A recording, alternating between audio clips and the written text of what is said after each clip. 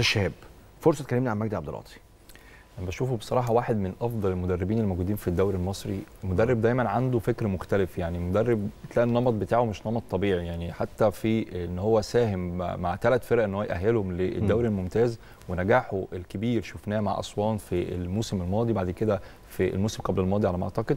وبعد كده نتكلم مع زد السنة دي بيطلع معاهم من الدرجة الثانية للدوري الممتاز وبيكمل معاهم في أول تسع جولات ويتصدر الدوري.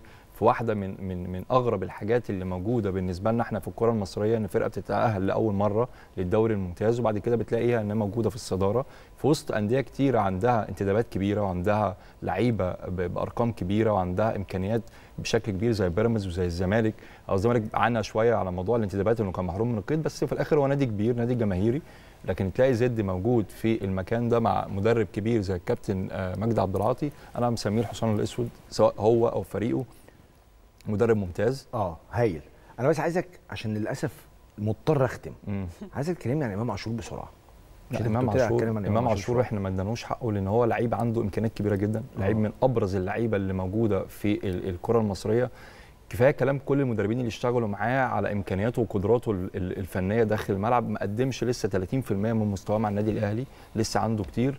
أنا بشوفه هيبقى واحد من أنجح اللعيبة لو حتة التركيبة العقلية اختلفت عنده وبدات تختلف وبدأت إنها تتأثر بمنظومة النادي الأهلي وبشكل النادي الأهلي وتفكير النادي الأهلي. حتى هو في تصريحاته بعد المباراة الأخيرة بدأ يقول لك لولا إن أنا موجود داخل منظومة زي النادي الأهلي مش هقدر إن أنا أرد على انتقادات كتيرة. وده بيبين لك قد إيه حجم تأثير النادي الأهلي على اللاعبين وقدراتهم.